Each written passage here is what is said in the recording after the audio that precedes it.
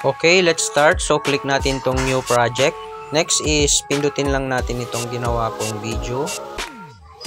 Okay, then add. Okay, next is, forward lang natin. Then, punta tayo doon sa tuyo po tayo. Yan. So, dito sa part na to is maglalagay tayo ng text. Then, add text. Next is, lagyan natin ng text na behind. Yan, behind text. Then, next is, pindutin naman natin itong styles. And, hanapin lang natin yung gusto nating style. Ito na siguro yung style na gagamitin ko. Then, check. Next is, palakihan lang natin ng konti para mas kita yung behind text. Ayan. Next is, lagyan din pala natin ng animation. Ayan, so hanapin lang natin yung animation. Okay, so click natin tong animation. Next is, hanapin lang natin yung throw out. So, siguro pwede na tong throw out. Yan. Then, check natin. Okay, so goods na yan. Next is dadrag lang natin itong text natin dun sa pinaka una. Yan. So drag natin dito. Then hatakin natin hanggang sa dulo. Yan. So ganyan lang. Then tanggalin natin tong contact. So delete natin yan. So okay na yan guys.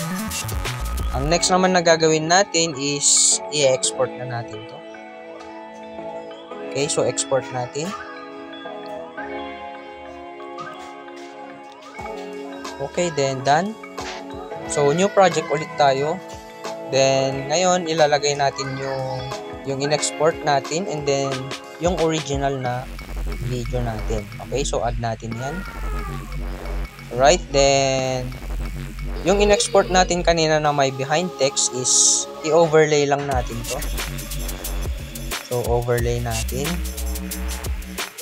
Ayan, so, overlay. Yan, so pagka-overlay natin is punta ulit tayo dito sa part na yuyuko tayo.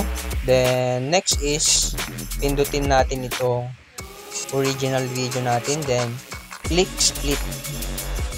Yan, so pagka-split natin yan, pindutin natin itong original video natin na nasa right na na-split. Next is i-overlay din natin to. Okay, so overlay. Overlay, overlay, yan. So, ganyan na siya guys, ano? So, delete lang natin to. And next is pindutin natin tong naka-overlay na original video natin. And ang gagawin natin dito is i-remove natin yung background. Yan. So, re-remove natin. Auto-removal na lang natin. So, antayin lang natin na mag-apply guys. Yan. So, background remove. So, okay na yan. So, try natin.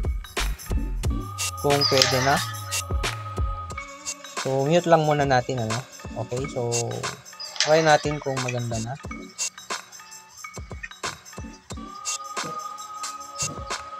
Whoops. Yun.